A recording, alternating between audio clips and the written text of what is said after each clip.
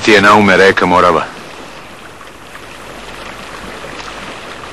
Tri Morave ima Srbija.